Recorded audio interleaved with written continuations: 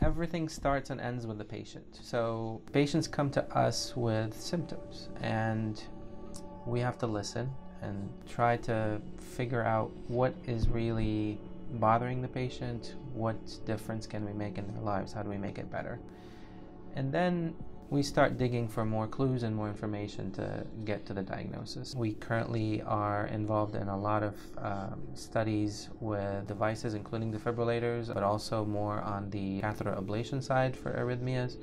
So um, patients are offered and informed about these various studies, and uh, we consider it a, a duty and a privilege to inform the patients about what, what we're working on and, and what studies um, they, they may be able to participate in, help us advance the field. Along the way, there's been a lot of technological developments in electrophysiology that allow us to do some really amazing things and really help people in great ways.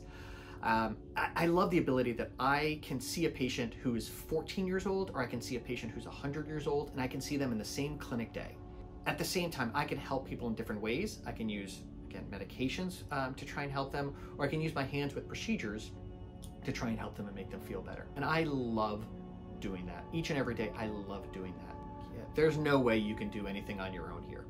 With the, uh, the practice of medicine is the um, just complicated patients that we see here and that we are seeing everywhere, everything requires a team approach.